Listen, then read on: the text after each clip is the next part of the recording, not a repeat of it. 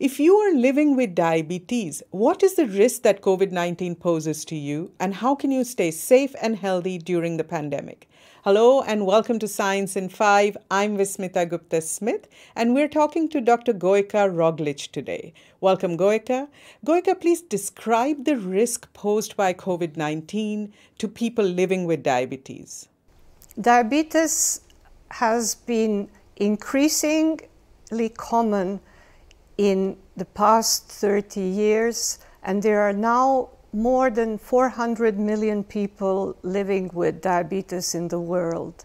Unfortunately, about one half of them do not know they have diabetes, they have not been diagnosed. And of those who are diagnosed, many do not have access to medicines nor health services that they need. This pandemic has shown that people with diabetes are at higher risk than people without diabetes of having a severe uh, illness, COVID, and also dying of COVID. The two main types of diabetes are type 1 and type 2. Type 2 is much more common. Type 1 seems to also have a higher risk than type 2 of a severe COVID illness and uh, death.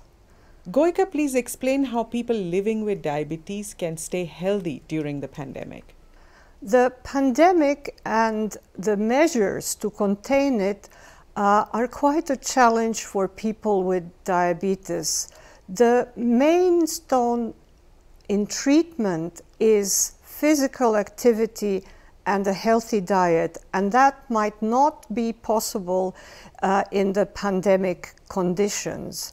The people with diabetes have to be creative about how to manage to continue the recommended physical activity and a healthy diet within the constraints of posed by the pandemic.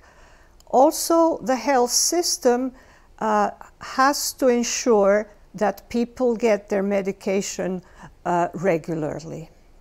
Gojka, please explain how people living with diabetes can stay safe from COVID 19.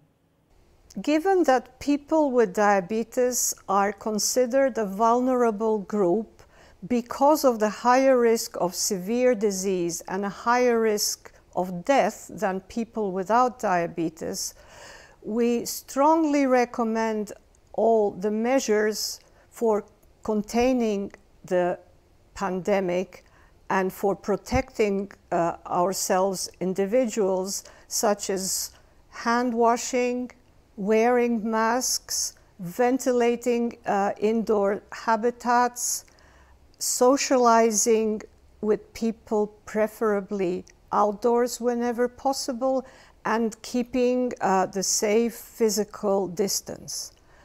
There is also vaccination, which is recommended for people with diabetes as a priority group for vaccinating. Vaccinations uh, are encouraged and they have been proven to be safe and effective. Thank you, Gojka. That was Science in 5 today. Until next time, then, stay safe, stay healthy, and stick with science.